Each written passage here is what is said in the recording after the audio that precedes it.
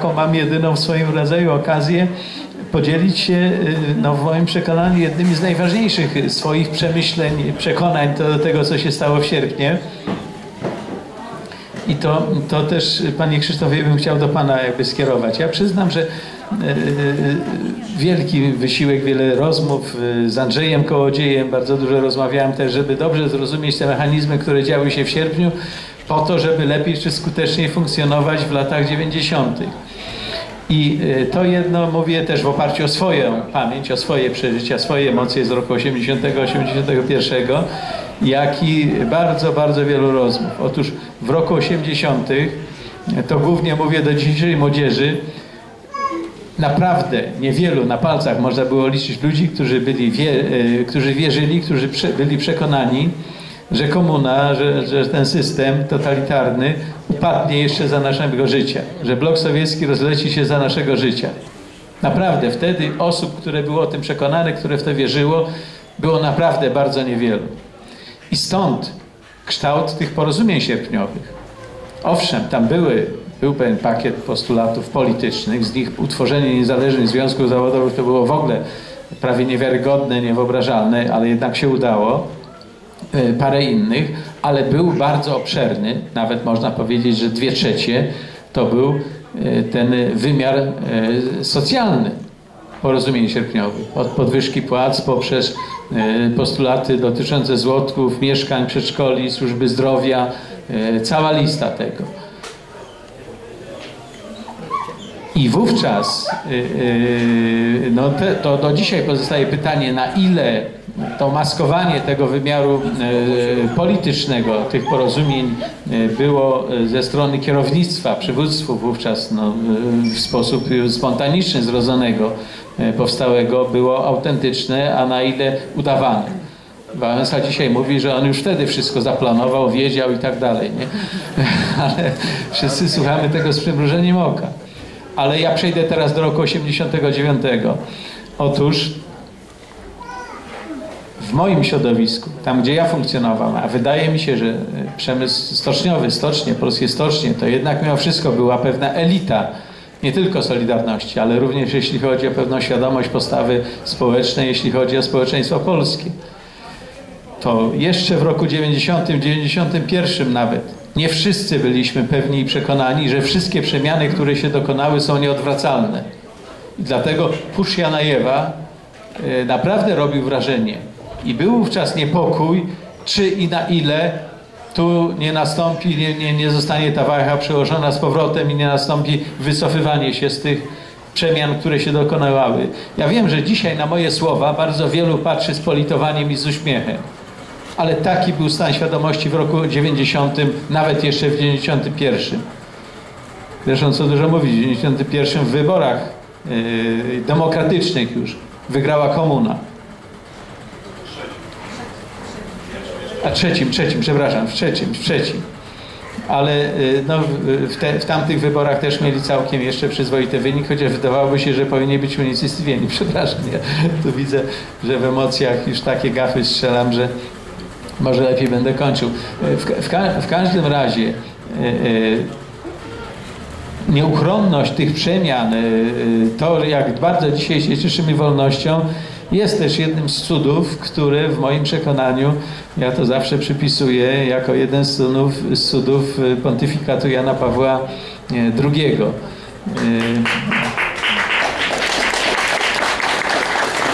Brakuje nam dzisiaj ogromnie takiego fundamentu, autorytetu, takiej pewnej ostoi, y, do której w tych kwestiach moralnych bardzo można się odwoływać, ale też przypomnę, że już w roku 91 y, Jana Pawła II y, owszem y, słyszeliśmy, ale nie słuchaliśmy.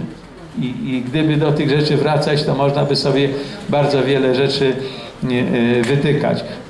W, w każdym razie to chciałbym Panie, Panie Sławku właśnie jako pewne uzasadnienie tych pewnych postaw czy pewnego dystansu do tych ja z wielkim bólem dowiaduję się e, e, tych rzeczy również od Pana, prawdziwych, o, o, różnych grzechach Lecha Wałęsy.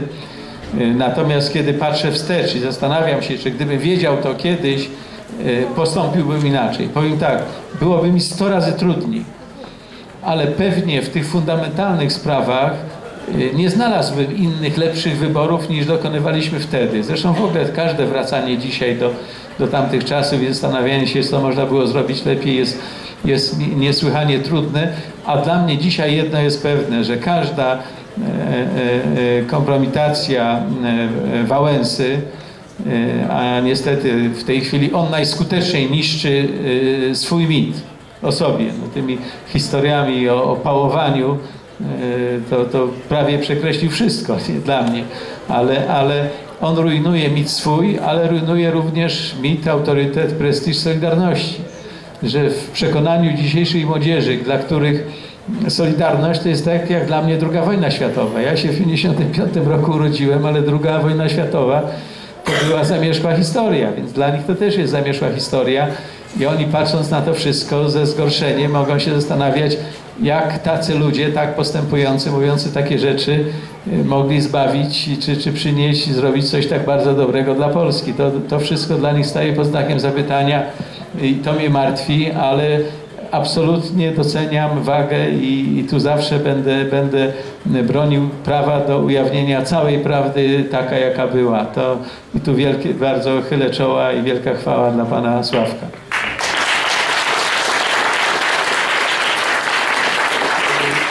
Szanowni Państwo, zanim, zanim przejdziemy do, do pytań z sali, nasze spotkanie ma charakter otwarty, w związku z tym bardzo zapraszam Państwa do zabierania głosu.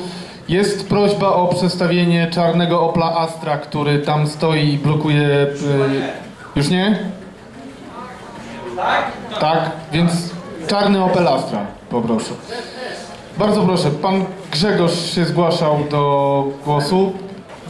Grzegorz Strzelczyk, radny miasta Gdańska. Proszę bardzo. Dzień dobry, witam wszystkich. Ja chciałem tylko tytułem uzupełnienia do tego, co mówił pan Sławomir. E, otóż e, w, przypomnę, i o tym się rzadko mówi, ale tak naprawdę porozumienia Krajowego Stołu e, wywróciło do góry nogami społeczeństwo, odrzucając w wyborach m.in. listę krajową. I tak jak pan Sławomir wspomniał, że Jarosław sformułował tako, takie zdanie, że po rozwiązaniu PZPR-u w zasadzie umowy Okrągłego Stołu stały się nieaktualne, to Jarosław w 1989 roku właśnie po upadku listy krajowej wtedy sformułował takie zdanie, że właściwie społeczeństwo wymówiło y, porozumienia Okrągłego Stołu. I to, o czym mówiła później pani Teresa, niestety wtedy sformułowano tą zasadę wasz prezydent, nasz premier, co jeszcze bardziej zamazało ten cały obraz i uwiarygodniło tych szuprawców, którzy potem pod sztandarem Solidarności w imię narodu y, robili to, co robili i dzięki nim właśnie jesteśmy tu, gdzie jesteśmy dzisiaj. Dziękuję. Dziękuję bardzo. Proszę bardzo. E, proszę się przedstawić. Wincenty Kaman. I tutaj mam jakby e, dwie kwestie. Pan Śniadek mówił właśnie, że jest za jedną Solidarnością. To dlaczego pan jako przewodniczący nie ujawnił archiwów z raportów, które oczyszczał Anię e, Walentynowicz z zarzutów, które względem niej wysnuł Lech Wałęsa w 1981 roku, przez co pozbawił ją mandatu e, do regionu Solidarności. To jest jedna kwestia, a e, druga kwestia, mówimy o 1989 roku, a ja tutaj bym się skłonił bardziej w kierunku pana Wyszkowskiego, który stwierdził, że jakby zdrada nastąpiła podczas strajku, a dokładniej 30 sierpnia, kiedy e, w preambule e, porozumień sierpniowych zapisano e, zwierzchnictwo partii i mm, uszanowanie znaczy uszanowanie służenia Związkowi Radzieckiemu.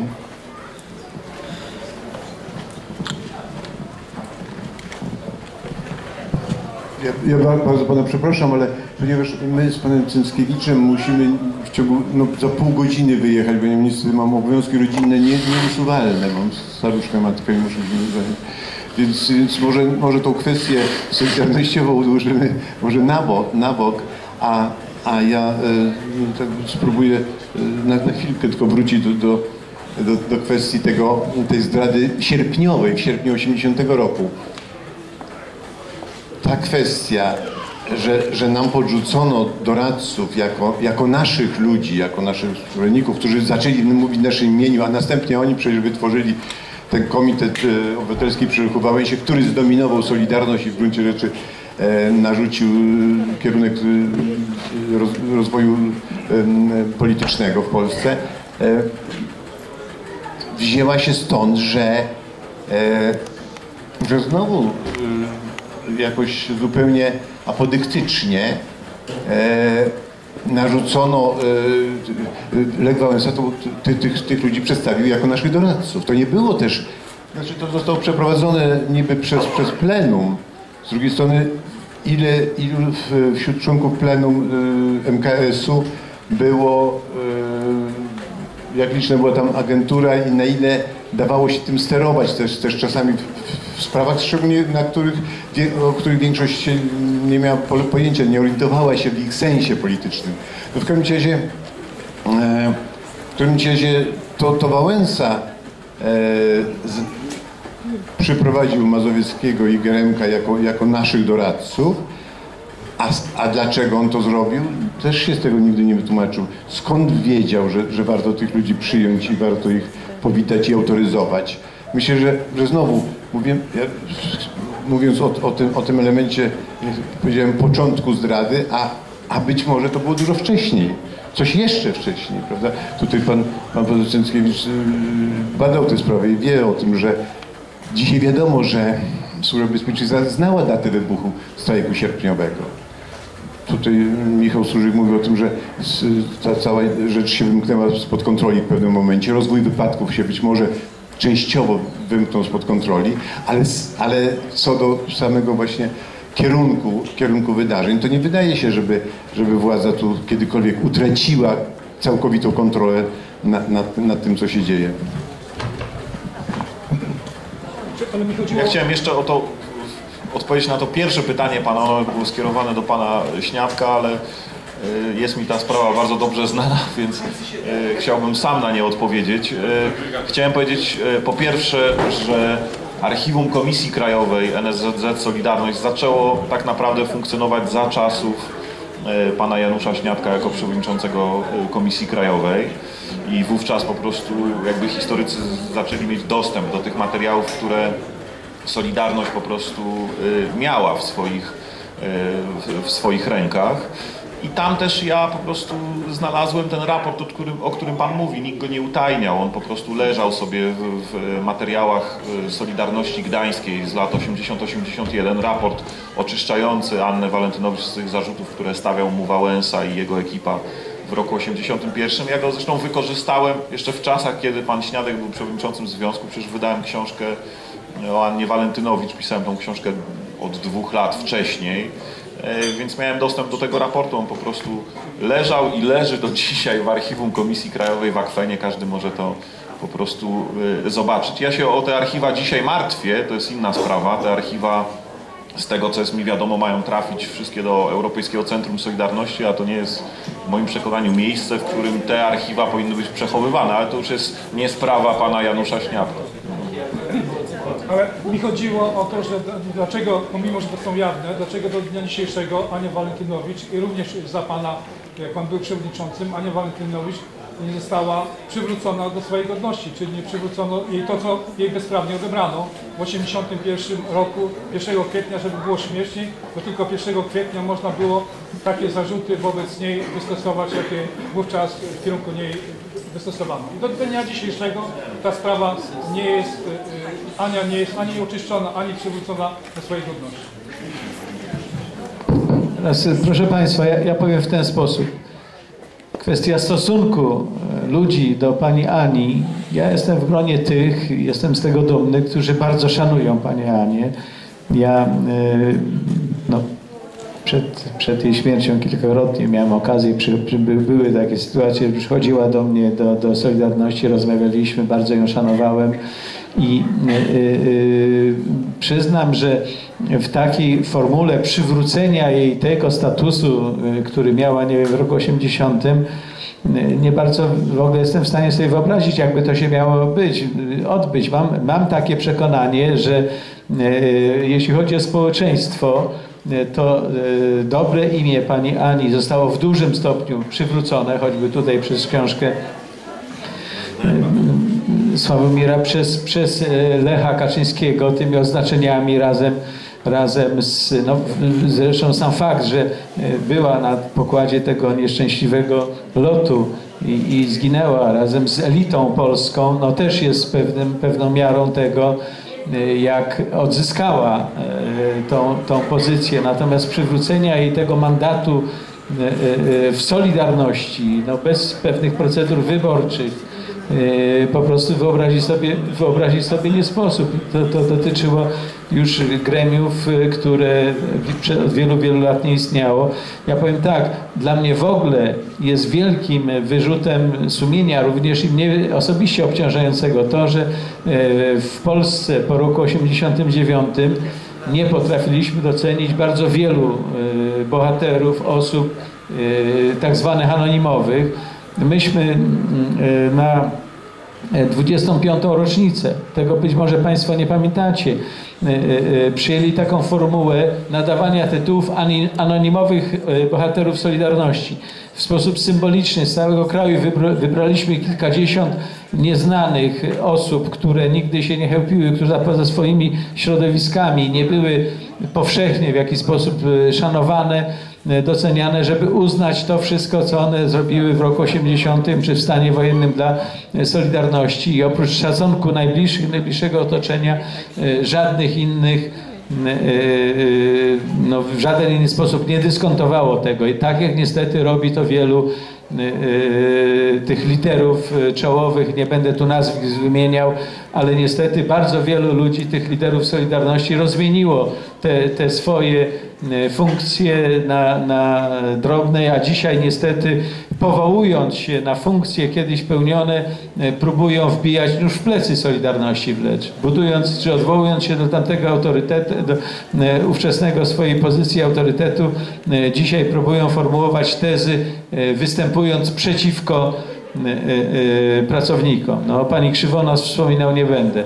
Tutaj myślę, to jest osobna też sprawa do badania do tego, jaka faktycznie była jej rola również wówczas. Ale to, przepraszam, taka gorzka dygresja.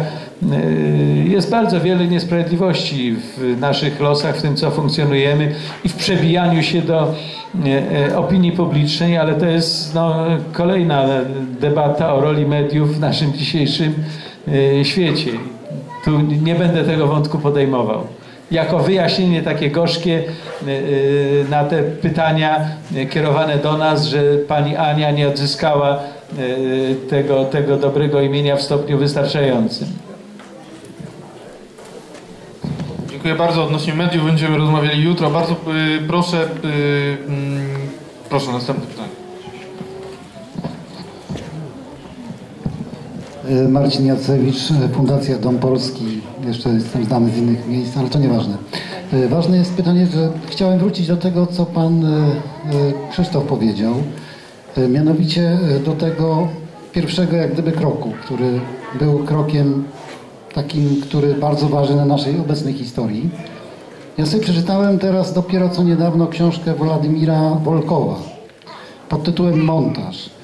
Ja mam takie jakieś nie wiem, przeświadczenie, że ten montaż był jednak, może to jest spiskowe myślenie, zrobiony trochę wcześniej i ten montaż był jakimś takim e, zaraniem tego, co się w naszym kraju zdarzyło. Po prostu to jest odwrócenie historii, ale nie w tym kierunku, w którym my byśmy tego oczekiwali, ale w tym kierunku, w którym to było wymyślone wcześniej, gdzieś zainspirowane na innych e, poziomach, które są nam obce i nieznane.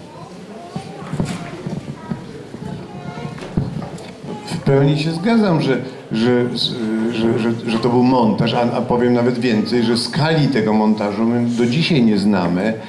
On na pewno jest większy niż to, co wiemy. Znaczy, zarysy pokazują, że był głębszy, trwalszy, trwał przygotowany wcześniej i, i miał daleko szersze, szerszy wymiar niż, niż, niż, to, niż te ślady, które, które, które pozostały. To tutaj muszę powiedzieć coś, e, no co, co chyba Państwo wszyscy wiecie, no, że o słabości y, polskich nauk historycznych. No przecież takich ludzi jak właśnie sobie pan Cęckiewicz jest po prostu na palcach policzyć. Nikt nad tym nie pracuje, nikt tego nie bada. Znaczy prawie nikt. To jest, jest paru ludzi dosłownie, którzy się tym zajmują, którzy usiłują Polakom przywrócić wiedzę o swojej własnej najnowszej yy, przeszłości, o ostatnich, ostatnich latach. Nikogo to nie obchodzi. IPN jest instytucją prawie martwą. Tam są jakieś badania nad, nad, nad okresem jeszcze powojennym na przykład. Też zresztą e, raczej zagłębiające się w jakieś detale, a, a brak jakichś syntez, jakichś głę- głębszych, głębszych em, takich ujęć. Ale jeżeli chodzi o solidarność, już, już nie mówiąc o okrągłym stole, to, to, to, to tego nikt nie bada, nikt, nikt, nikt nie szpera po tych archiwach. Akurat miałem przyjemność ostatnio widzieć troszeczkę tam jakichś dokumentów. To są rzeczy szokujące, bo są przerażające. Przyznaję, że, że, że w ostatnich dniach miałem dostęp do, do jakichś materiałów. Wprawiły mnie w depresję psychiczną. To są straszne rzeczy. To, co się działo w różnych środowiskach e, polskich, które uważamy za najbardziej fundamentalnie antykomunistyczne, to są rzeczy przerażające. Skala agentury, skala współpracy, skala... To, to, jest, to, to po prostu włosy dęba stają. Nikt tego nie przybliża, nikt tego nie analizuje. Nadal wielu z tych ludzi jest, jest autorytetami w życiu publicznym. Ja, to, to, no, to zawsze może będzie interesujące taki, taki, taki szczegół. E, skoro powiedziałem o tym, o, tym, o tej o tym desancie, e, jak myślę, sprowokowanym przy, przez, przez władzę, czyli tych, tych doradców, którzy przyjechali z Warszawy do, do, do, do strajkujących, to, to powiem, że 2 września 80 roku przyjechał do Gdańska Jacek Kuroń, jeden z liderów koru. Więzień e, komunizmu. Prawda? Ten człowiek, no, którego nie można było podejrzewać o, o, o współpracę z, z władzami, przyjechał z programem w istocie unieszkodliwienia tego ruchu, wyjęcia mu, zablokowania wszystkich możliwości działania praktycznie, podporządkowania go właściwie, e, tam parę takich e, projektów, e, to pan zresztą opisywał to e, w tym, w tym jego projekcie no, no, nowej organizacji związków, tam zadań związków, które no, likwidowały prawo do strajku, likwidowały e, właściwie samodzielność przedstawicielstwa zakładowego. No, no to są- rzeczy niesamo- niesamowite, w ogóle podporządkowały zresztą cały związek jemu osobiście, to tak już po, poza wszystkim. Ale, ale i, ja wspomnę Państwu, na jakim etapie y, trwają obecnie te badania. Pan doktor Cęckiewicz, który ujawnił y, istnienie te, tego w przeszłości, ja zresztą z nim rozmawiałem na ten temat, e, spiera się nadal z uczestnikami tamtych wydarzeń o to, czy to w ogóle miało miejsce. To, to jest ten, ten poziom. Mimo, że są już że są, że są dokumenty z, te, z tego okresu. E, ale no, świadkowie się wypierają w, własnego udziału w tym wszystkim. A więc taka szczególna kwestia. Trakcie takiej, tego, te, jednego z tych posiedzeń zaraz na początku września 80 roku, e, gdzie, ten, gdzie Kuroń przedstawiał ten swój plan polityczny, e, on to, e, on to referował z takich karteczek pisanych odręcznie i tam po, po, zawsze mówił o niezależnych związkach zawodowych. I po kilkukrotnym powtórzeniu ja mu zwróciłem uwagę, Jacku, przecież to się nazywa oficjalnie niezależne, samorządne związki zawodowe, więc, więc to już nie, nie ma co powtarzać yy, niezależne, skoro, skoro jest już, już utrwalona nazwa. I on, pamiętam, że tak e, z zastanowieniem popatrzył na mnie, e, wpisał tą poprawkę do, do tych swoich karteluszek, po czym w programie tym oryginalnym wydrukowanym ukazały się zawsze znowu tylko i wyłącznie nazwa Niezależne Związki Zawodowe. Bardzo, bardzo to, to ciekawe, ponieważ nazwa Niezależne Związki Zawodowe nie funkcjonowała w ogóle wówczas. Tą nazwę zaproponowały, zaproponowali negocjatorzy ze strony władz w czasie strajku sierpniowego. Myśmy żądali wolnych związków zawodowych. Oni tłumaczyli, że mm, prosili o e, rezygnację z nazwy wolne związki zawodowe, e, ponieważ e, to jest centrala właśnie tam chrześcijańska e, Światowego, e, Światowa Konfederacja Wolnych Związków Zawodowych. Wobec tego, żeby to nie było tam podłączone, żeby nie było kojarzone z tym światem burżuazyjnym, więc, więc e, proponowali niezależne. To oni zaproponowali niezależne związki zawodowe. I Kuroń 2 września nasz przyjaciel przyjeżdża z programem, gdzie są tylko i wyłącznie konsekwentnie nazwa Niezależnej Związki Zawodowej, która likwidowała niezależność związków zawodowych. Przyjechał do nas z aresztu. Co w tym areszcie robił? Jak rozumiem, pan doktor jeszcze nie wie, co mam nadzieję, że kiedyś nam to wszystko opisze. Bardzo proszę następne pytanie. Proszę bardzo.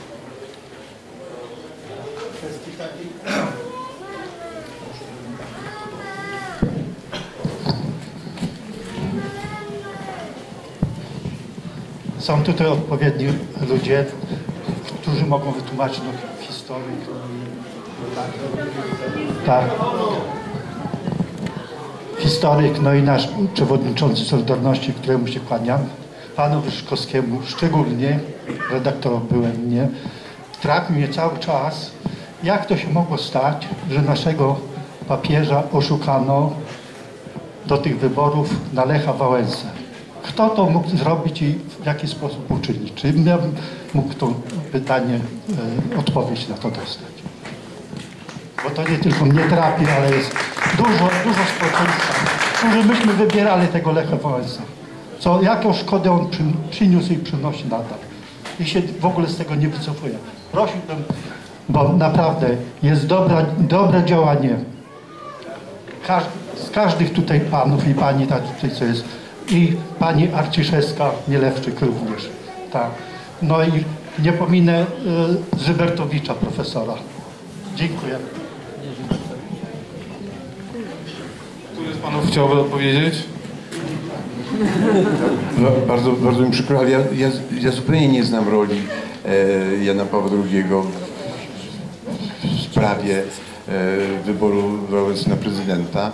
Myślę, że on to zaakceptował. Nie, nie, zupełnie nie wiem, e, jakie było jego stanowisko, stanowisko w, tym, w tym czasie, ale już e, może kontynuując to, co, od czego zacząłem, od, od swojej własnej głupoty, to, to ja, ja troszeczkę o czymś innym powiem, mianowicie o tym, że że to ja przekonałem Lecha Wałęsę, że powinien kandydować na prezydenta. Że to, no, no to, to tak było. To było, no, wstyd przyznać, no, ale, ale wtedy uważałem, że najważniejszą rzeczą, proszę pamiętać, że, że to było na przełomie stycznia i lutego 80, 90 roku. Wtedy prezydentem był Jaruzelski i premierem Mazowiecki i oni chcieli rządzić cały czas. Mówiło się o, o ewentualnie drugiej turze Maz- Jaruzelskiego.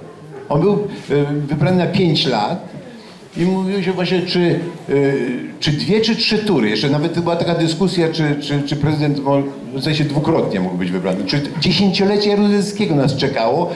Przecież e, nasz, nasz drogi przyjaciel e, Aleksander Hall no, doskonale w tym funkcjonował. Cały ten układ był świetnie zorganizowany. Wyglądało na to, że tu, się, że tu nie można tego w ogóle ruszyć z miejsca. I wtedy rzeczywiście z wielkim trudem, stosując takie, rzeczywiście twarde argumenty, przymuszając, że udało mi się tego Wałęsę namówić, żeby on zg- zgłosił swoją kandydaturę i, mm, i, i Jarek Kaczyński to, to poparł, po, porozumienie centrum poparło i, i to ruszyło z miejsca. Ale żeby było dzisiaj w takim bardzo samokrytycznym nastroju jestem, więc więc żeby było jeszcze, jeszcze gorzej, to powiem Państwu, e, że ja sam tego też nie wymyśliłem, że mi to podsunął generał Jaruzelski. On zaproponował, że on ustąpi. To, wiecie Państwo, no naprawdę e, jako, jako no, świadek pewnych wydarzeń sobie zdaję sprawę, że, że ja byłem no, często bardzo niestety tylko pożytecznym idiotą, no, człowiekiem, którego, którego, któremu coś wskazywano, którego rozgrywano. Będąc człowiekiem, no, szczerze mówię, dobrych chęci, dawałem się nabierać na, na zupełnie e, takie no, gry, gry polityczne ludzi, ludzi lepiej zorientowanych, lepiej, lepiej em, no, organizujących ca, cały, cały ten przebieg wypadków. Ja, tam kiedyś się zdarzyło, że do tygodnika Solidarny przyszedł list z wyrokiem dla Wałęsy, jako tam już podziemie akoskie go skazuje na karę śmierci, wyrok będzie wykonany. Ja uznałem, że to jest prowokacja e, funkcjonariuszy SBN-u, w którym Kiszczaka gdzieś tam ogólnie biorąc. I poszedłem